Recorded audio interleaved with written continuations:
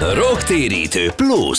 Égbe kiáltó mély interjúk a kultúra és a közélet ikonikus alakjaival. Számomra a boldogság az egy, az egy fizikai, spirituális, és kulturális egyensúly, az a boldogság. És en, ezt nem lehet egy fogalomként ilyen értelemben szerintem leírni, hanem pillanatokban lehet megragadni. Boldogság az, amikor a, a kisebbik lányomat ö, ö, tanítom mondjuk énekelni.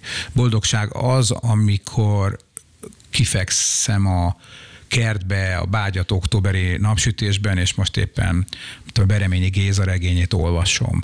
Boldogság az, amikor fölmegyek a színpadra, ahogy te is, és egy olyan energia cserében veszek részt a közönséggel, ami szerintem, ami szerintem egyszerűen nem tudom elképzelni, hogy más adhat ilyet, miközben tudom, hogy aki meg az extrém sportokban mondjuk sziklát mászik, neki ott, ott születik meg valami ilyesmi pillanat, és ezért mondom, hogy számomra ez pillanatokban megragadható, és azt is fontosnak tartom, hogy minden embernek valószínűleg mást jelent. A szó nem száll el, és az írás is megmarad. Bajor Tamás műsora péntek este 8-kor a Spirit fm -en.